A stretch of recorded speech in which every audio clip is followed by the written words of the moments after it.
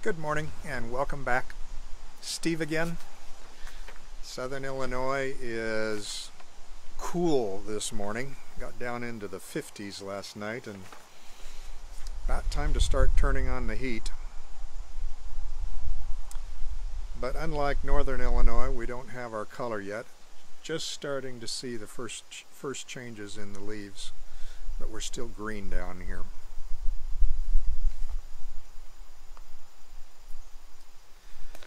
The seeds started growing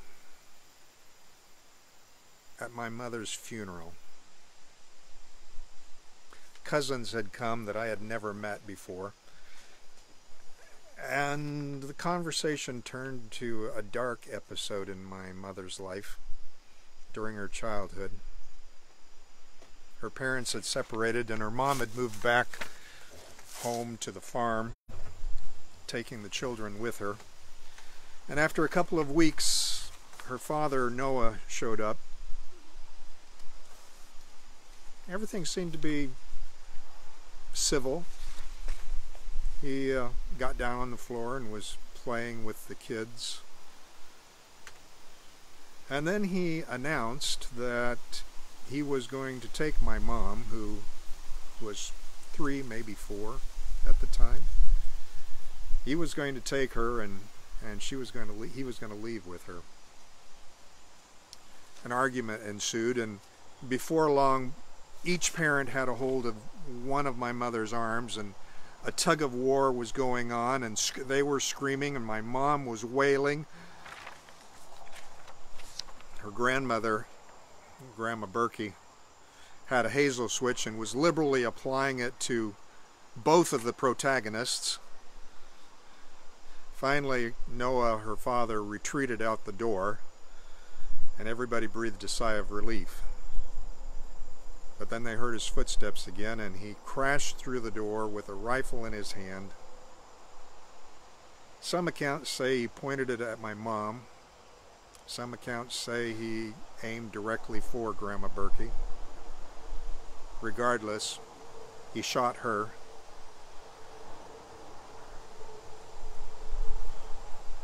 My mother's mother, Hulda, grabbed her and started to run. Noah clubbed her from behind with the rifle butt, splitting her scalp open. Blood was squirting everywhere, knocking her unconscious. As she fell, she collapsed on top of my mother, Tilly.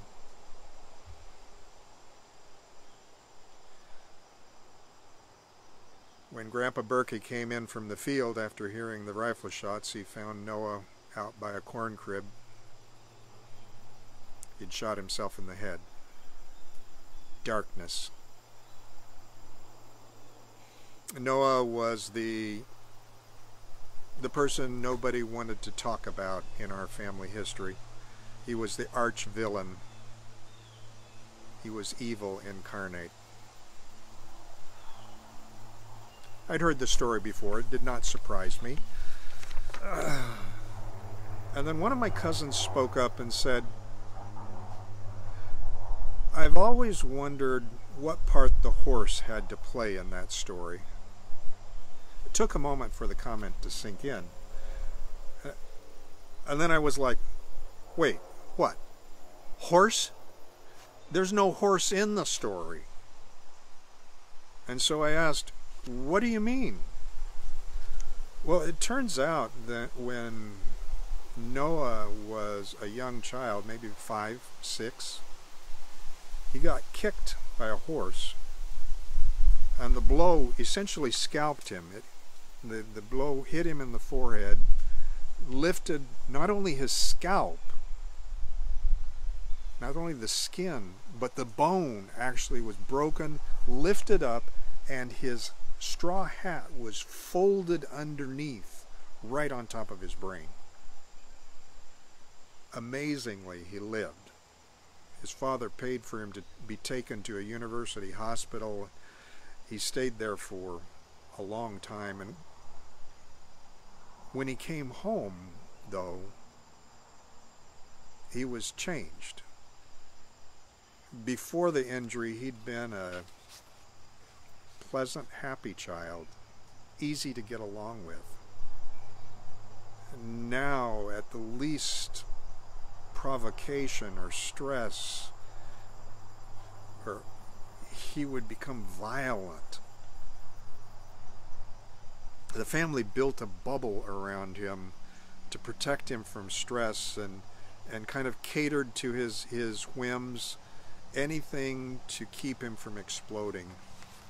But that could only last for so long. Once he became an adolescent, he he became restive and and wanted to have a be out in the world and trouble with the law ensued and well, you know the end of the story. As I listened to my cousin telling the story, it reminded me of a classic medical case.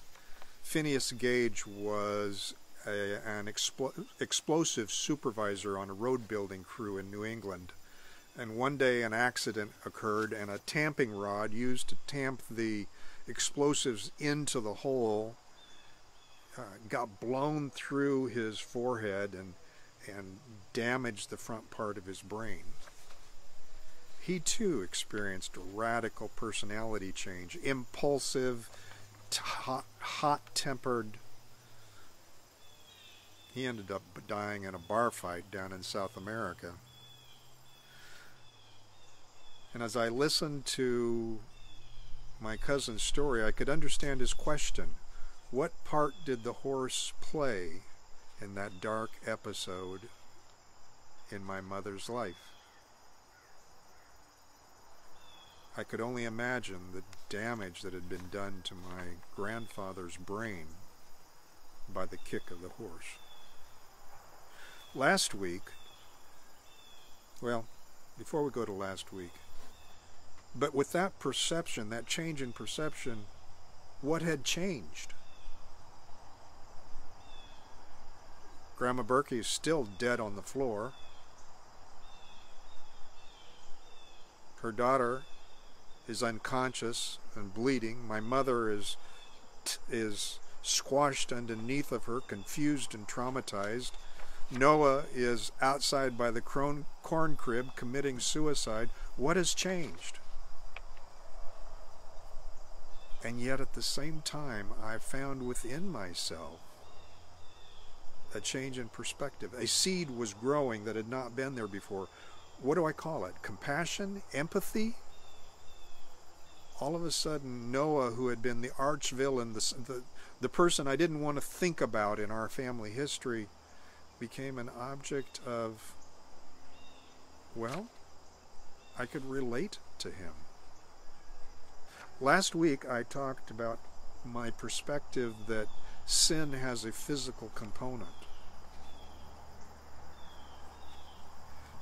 Back in the 90s, medical researchers documented that adverse childhood experiences, of which my mother's is a, a powerful example,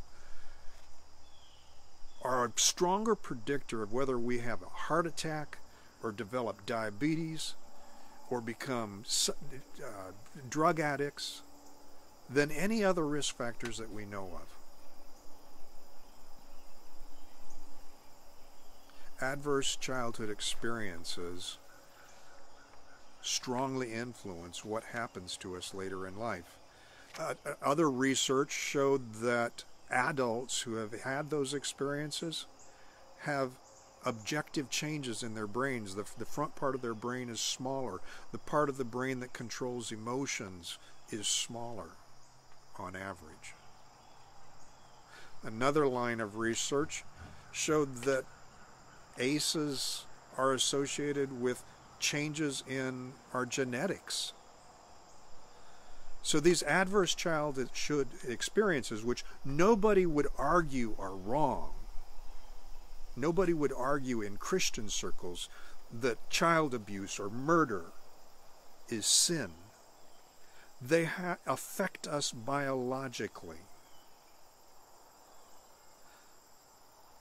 Nobody would argue that. They are wrong. But our assessment of the results, the impact that they have on our lives, often stops with the mental. Well, you might have PTSD after going through something like this, but does it actually change you biologically? Today, medical researchers would respond with a resounding yes, your brain is changed. When I've shared this information with people, I've, I've run into two patterns of reaction. The first has to do with accountability.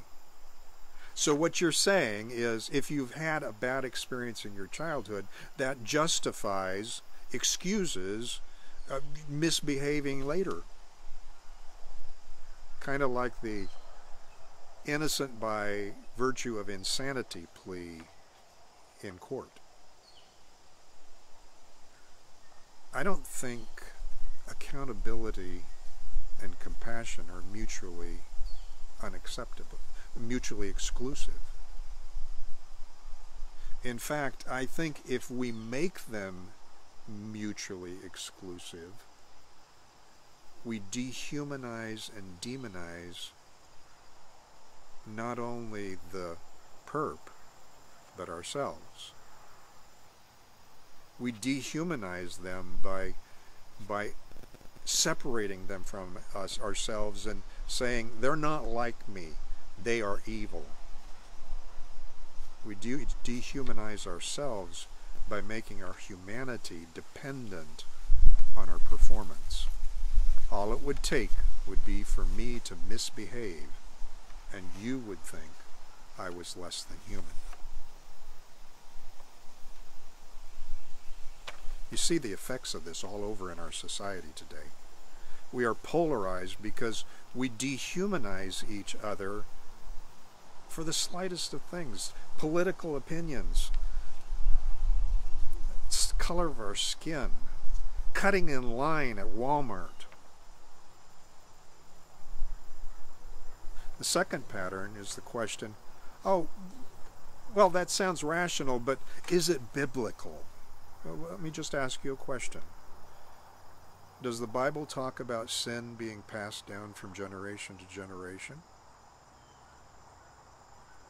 Does the Bible talk about sin damaging our bodies or our bodies trapping us in sin?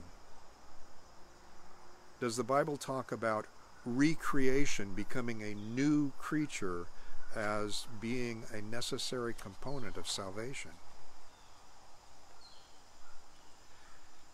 Jesus told his disciples, Judge not, that you be not judged. Humanism tells us, you don't have to be wrong for me to be right. Both perspectives hinge on us giving a gift to the other person. In Christianity, we speak of it as grace. In humanism, we speak, speak of it as tolerance. Regardless, we end up having common ground, a shared experience that allows compassion to exist at the same time as we are holding each other accountable for wrong behavior. Christians used to say, there but for the grace of God go I, when they would see a drunk in a gutter or some other form of unacceptable behavior. I think that perspective is powerful. And my new understanding that sin has a biological component really empowers me to, to think that way you and I may have different weaknesses because of our pasts. Not just our personal pasts, but the pasts of our ancestors. We may have different temptations, but they both arise from the same source. The trauma, the damage that sin does to human beings. So whether you're an addict or a gossip. Whether you cheat on your spouse or you overeat, Whether you curse like a sailor, or you are smug in your self righteousness because you don't do any of these things, we're all in the same boat. We're damaged goods. That's what I find in the gospel of Jesus. That's the way God looks at us. That's why he can have compassion for us at the same time as holding us accountable. And that is the challenge that Jesus gave his disciples. Love one another as I have loved you. He did not minimize the problems in people's lives, but he had compassion on them still. Has the seed been planted in your heart? Is the seed growing? Be safe, my friends. Be prudent. But above all, keep looking up. I'll see you next week.